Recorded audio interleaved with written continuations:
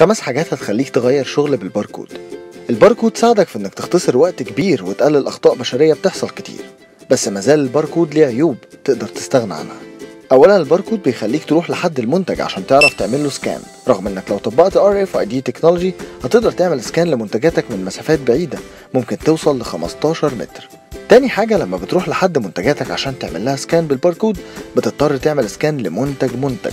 رغم إن RFID technology بتخليك تعمل scan ل 50 منتج في الثانية الواحدة. تالت حاجة نوع ال business بتاعك ممكن يحكم عليك ما تعرفش تستخدم الباركود لكن RFID technology كلها حلول مرنة تنفع مع أي business وأي منتجات وفي أي حالة.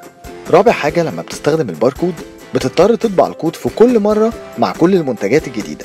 لكن مع RFID technology أنت ممكن ت reuse ال tag أكتر من مرة وبمنتهى الدقة. خامسا وآخر حاجة الباركود مازال بيحصل معاه أخطاء بشرية لأن اللي بيعمل scan بالباركود ممكن إيده تتحرك بطريقة غلط أو ما يركزش في النتيجة. على العكس تماما ال reader بتاع ال RFID technology ممكن يتعلق أو يتربط في أي مكان آمن ويقرأ كل المنتجات بدقة عالية جدا.